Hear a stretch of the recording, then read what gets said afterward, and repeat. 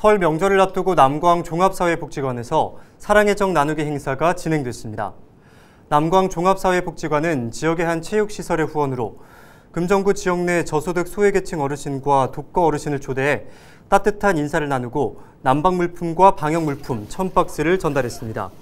이날 후원 물품 전달에 나선 메디앵컬 필라테스 측은 지역 내 저소득 가정 어르신들이 사회적으로 소외되지 않고 혹한기와 코로나19 상황에 잘 대처하기를 바라는 마음으로 준비했다며 앞으로 사회 공헌 활동을 지속적으로 해나갈 계획이라고 밝혔습니다.